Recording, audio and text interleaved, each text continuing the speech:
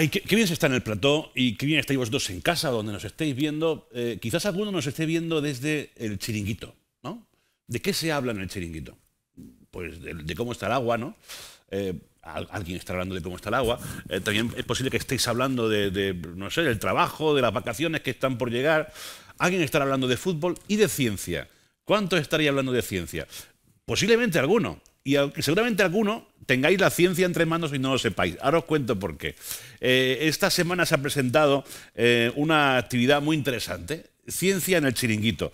Eh, es una actividad, una campaña de divulgación y sensibilización amena y divertida, evidentemente, que tiene el chiringuito como escenario. la playa, en fin. yo creo que es un buen lugar donde hablar de ciencia y donde también aprender. Es un ciclo de tres jornadas de divulgación científica organizado por la plataforma Almería Conciencia. El ayuntamiento también está por medio. Y hoy está conmigo el profesor de la Universidad de Almería, José Antonio Garrido. Muy buenas tardes.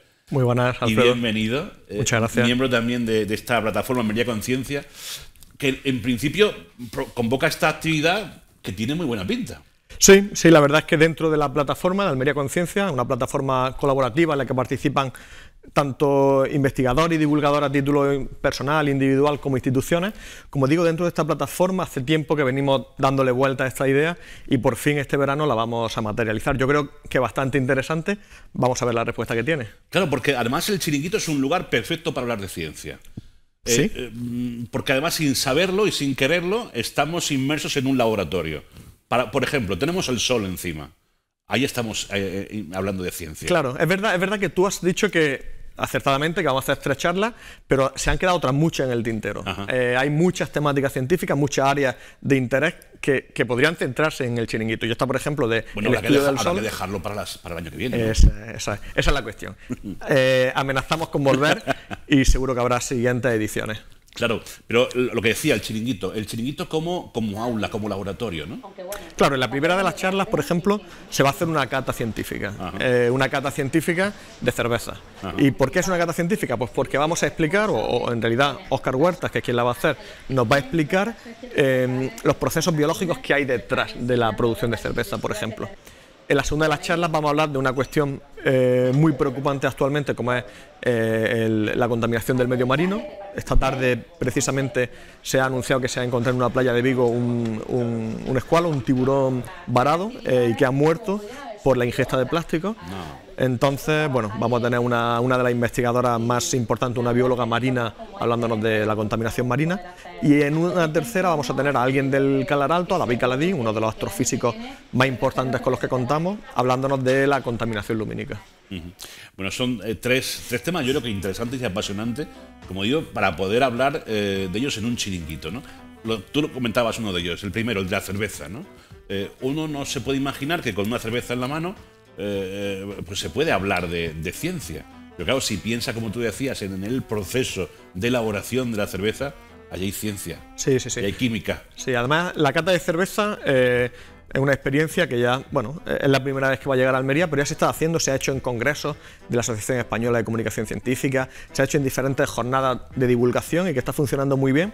Y es que Oscar Huertas, que ya lo mencionaba antes, pero es uno de los dinamizadores de la divulgación científica en Andalucía, eh, conduce muy bien estas charlas, eh, nos lleva por todo el, camino de elaboración de, la cerveza y en efecto vamos a descubrir que hay mucha más ciencia de la que creemos. Claro. Y además lo hará de forma amena y divertida, ¿no? Como también se supone que van a ser todas estas charlas. Absolutamente, sí. Al final estamos hablando de divulgación, ¿no? Eh, no hay que perder de vista que la divulgación, uno de los objetivos que tiene es entretener. Entonces, formar, informar e, y entretener. Y, cuando llegáis al chiringuito decís, oye, queremos, eh, queremos hacer aquí unas charlas de ciencia y tal, el, tío del chiringuito cómo os mira, ¿esto qué es una broma o de qué va? es verdad, es verdad que en principio podría, podría pensarlo, pero también es cierto que Andrés, que en este caso es la persona que nos ha acogido en el chiringuito Terraza del Mar, eh, desde el primer momento en el, que le mostramos la idea, dijo que ningún problema, que él ponía a nuestra disposición el chiringuito.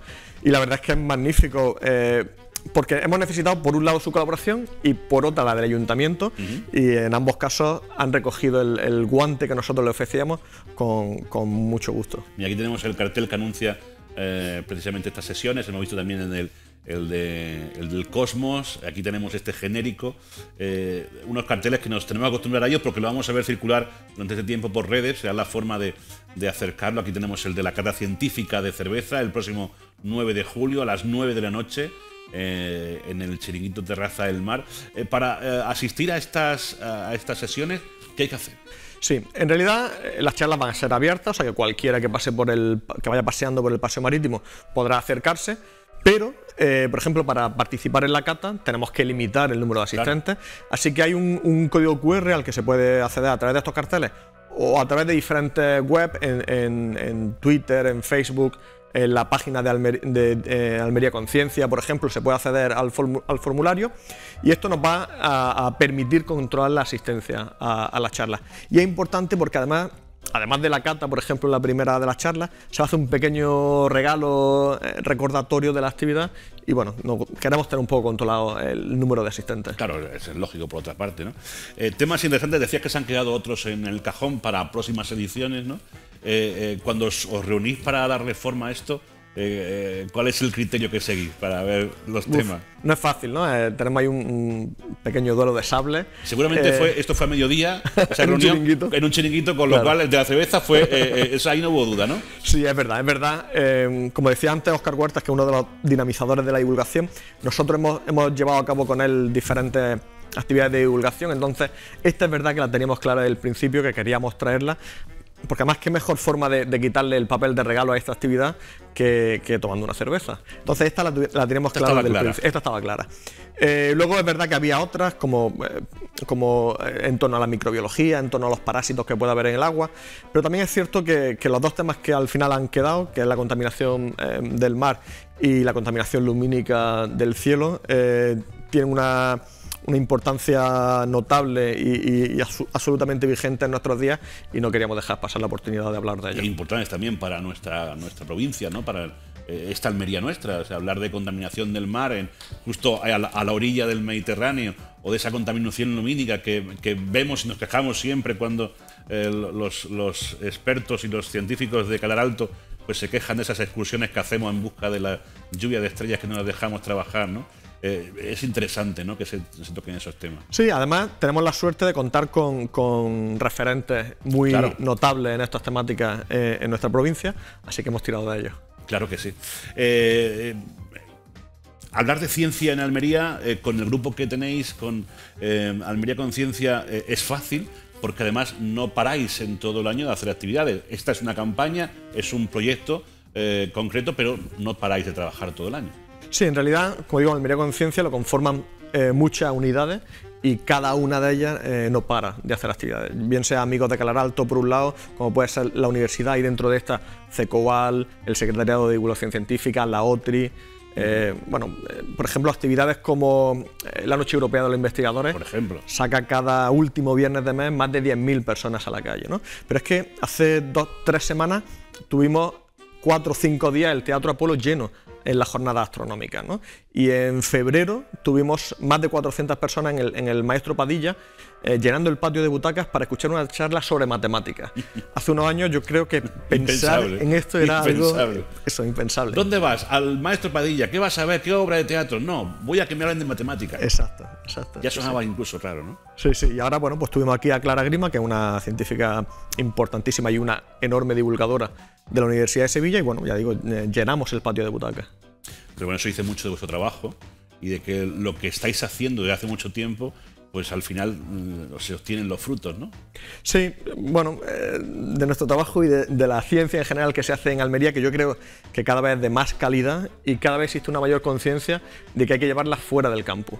Porque es verdad que eh, he hablado de estos dos escenarios, pero por ejemplo hemos llevado charlas de divulgación a, la, Plaza Pablo Cazar, en el centro de la ciudad, a, la Casa del Cine, por ejemplo, estamos, estamos intentando sacar la ciencia del campus. Pero bueno, por ejemplo, el ciclo de Ciencia Jazz lleva ya siete años llevando eh, esta charla de divulgación a, un entorno maravilloso como es Clasillas. Mm.